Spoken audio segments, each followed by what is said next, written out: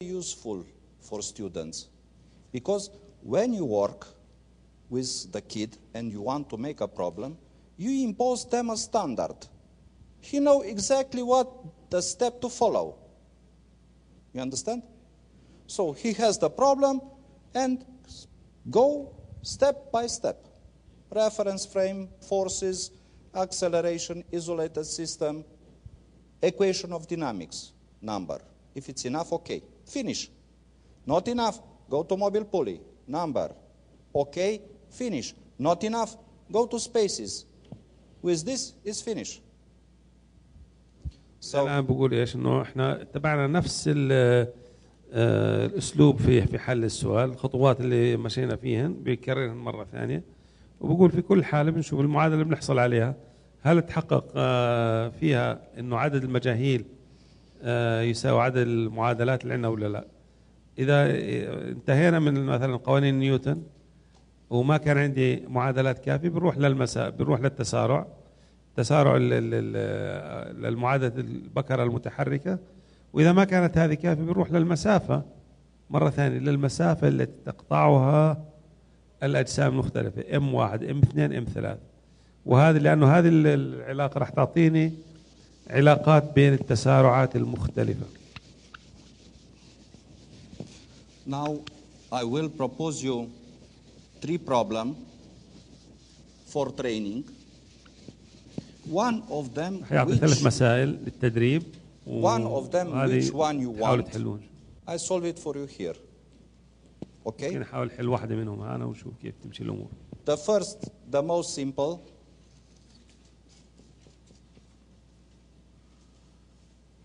حاولوا تكتبوا للجميع الأخوات برضه حاولوا ترسموا الرسمة وتكتبوا لها.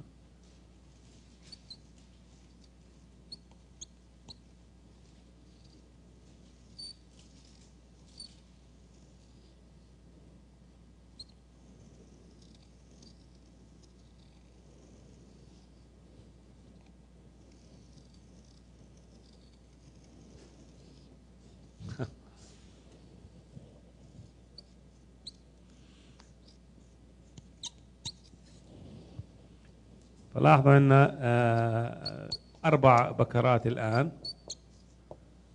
آه، كل بكرة آه، مثبتة في مثلا البكرة الأولى من جهة اليمين اللي مربوطة في الكتلة واحد ثابتة متصلة بالسقف. اللي بعدها كرة بكرة متحركة واللي بعدها بكرة متحركة واللي بعدها أيضا بكرة متحركة بحيث أنه طرف منها مربوط بالأعلى والطرف الثاني مربوط في البكرة التي تسبقها. وهكذا. فالمطلوب عندي أوجد التسارع طبعا للكتلة الموجودة اللي عندي وأوجد الشد آه، تنشن في هذه الخطوط.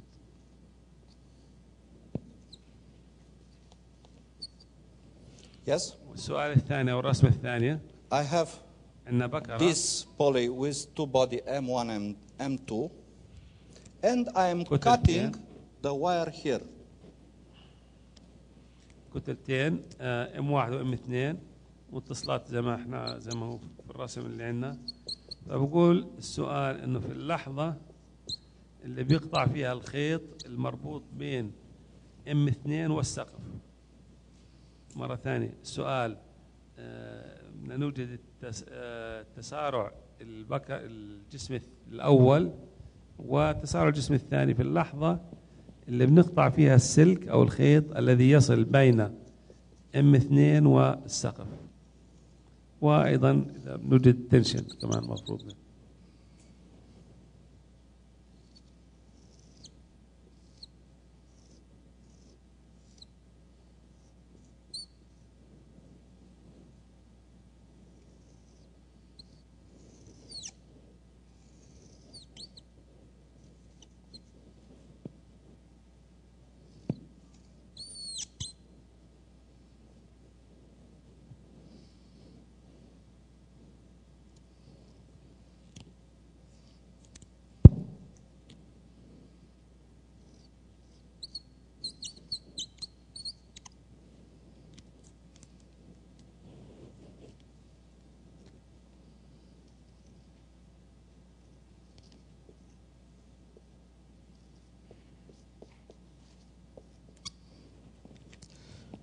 The third problem is that here I have a body of mass m,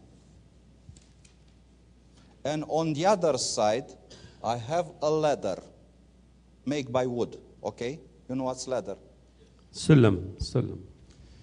A cat jump on the ladder. Yes, and goes with an acceleration a in such a way that the tension on the axis of the pulley is zero. That means this pulley don't have any weight on his axis.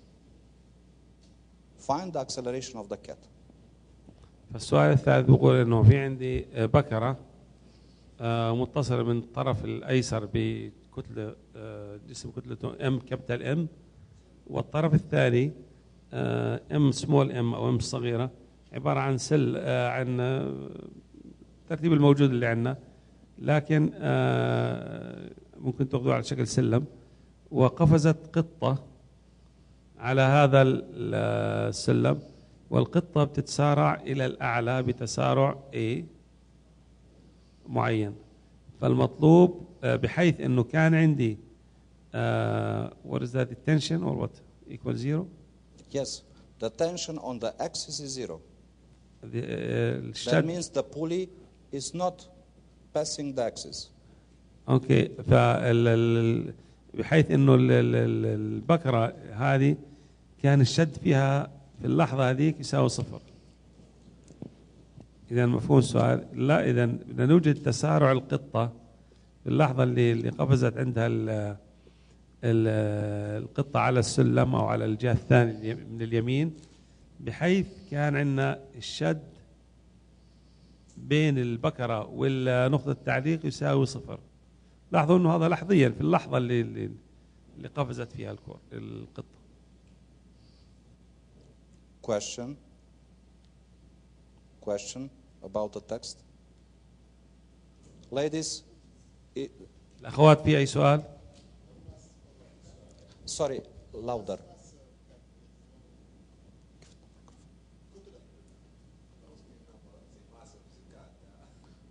The mass of the cat.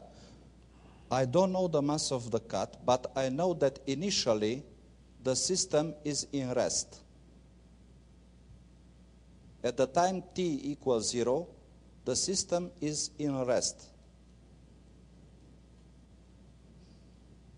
Good question.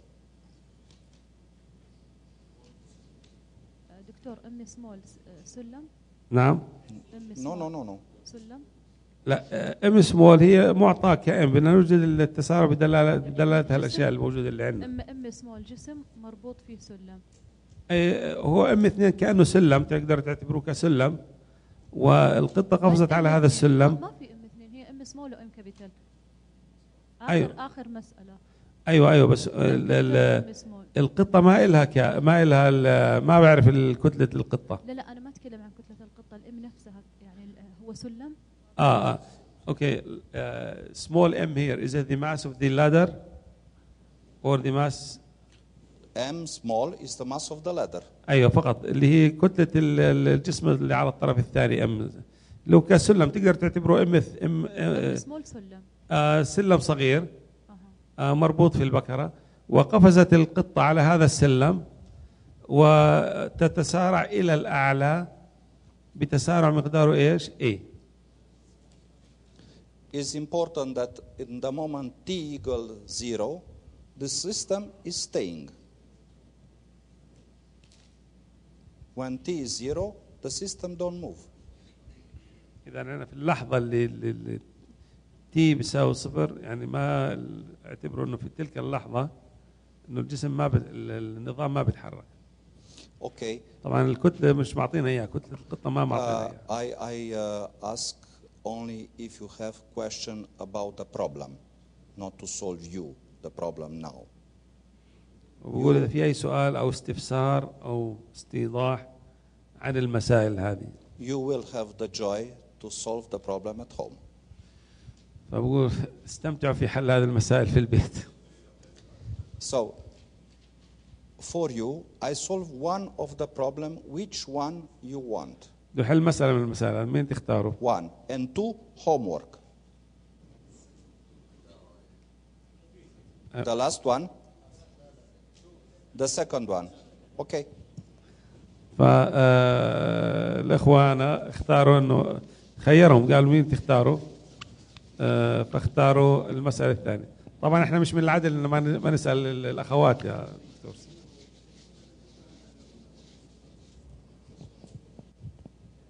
فهو راح. راح يحل المسألة اللي في الثانية اللي هي مرة ثانية آه عندنا جسم بس المطلوب في الس- السؤال هذا أن نوجد تسارع A1 و A2 في اللحظة اللي نقطع فيها الحبل الذي يصل بين الكتلة M2 والسقف المعلقة فيه Only what I please and I ask you is to solve together with me. Or you solve the problem and I write, okay? حلوا معي Because you know the يعني. standard. So, reference frame. نبدأ. بمسند الإرجاع أو الإحداثيات الإرجاع I. After reference of frame, forces. القوة. Yes, قوة القوة. إذا رسمنا هذه الخطوات إحداثيات الإرجاع بعدين القوة اللي بتؤثر على كل جزئية. ونشوف نقاط الاتصال زي ما أخذنا في الأمس. نقاط الاتصال بين الخي... الخيوط المختلفة والبكرة والجسم المعلق. إذا نقاط التعليق نقاط الوصل. First theorem, تي واحد. T1, T1. Second theorem, here, T1, first theorem. Here is another wire, T2, T2, first theorem. I have more here, T3, T3, first theorem. إذا زي ما قلنا إنه في كل خيط في عندي شد مختلف عن الخيط الآخر After that, ثلاث خيوط وثلاث آه، قيم للشد وهذه? محددة عند نقاط التعليق acceleration.